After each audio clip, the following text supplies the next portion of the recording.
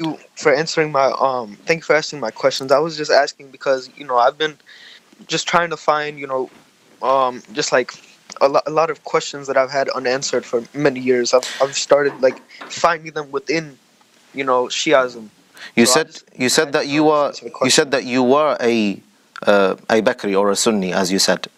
You were meaning past yes. tense. So, yeah, so I, I grew up Sunni, but within within you know the past um few months, I've been studying, you know, the different schools of thought in both sides of Sunniism and Shiism, and just trying to um find which which side is the you know the correct path and which side has all the answers.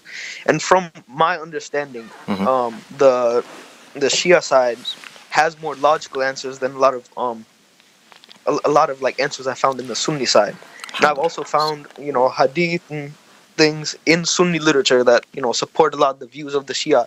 Because growing up, you know, as Sunnis, you don't really hear, you know, you don't hear too much about what most Shias believe. You kind of just hear about, you know, the the ex- the extremes, Yeah. you know.